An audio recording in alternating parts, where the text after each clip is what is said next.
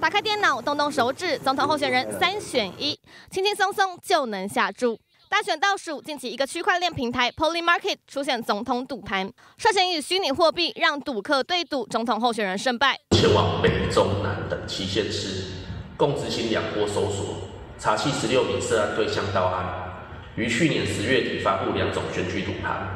可视为新形态赌博平台。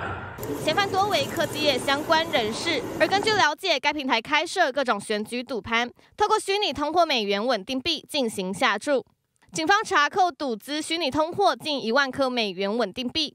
再进一步清查总下注量，竟高达一百万颗美元稳定币，换算约新台币三千一百万元，平均每人下注约两百万新台币。台中市刑警大队打造的虚拟通货钱包，型户为多签钱包，可多重验证，金钥也可分时。办案人员只要将犯嫌手机扫描进户提完后，一秒就能将赃款查扣入户。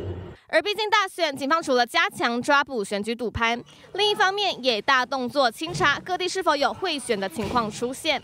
果然，十号桃园地检就查获某平地原住民立委候选人办公室的红姓主委，涉嫌以一票两千元新台币的代价向选民拉票贿选。该红姓被告犯罪嫌疑重大，并有勾串证人及灭证之余，向法院申请羁押。选战倒数计时，减掉全面戒备，将对妨害选举的不法人士严查到底。欢迎新闻陈明燕、洪世成、杨格、刘北瑶综合报道。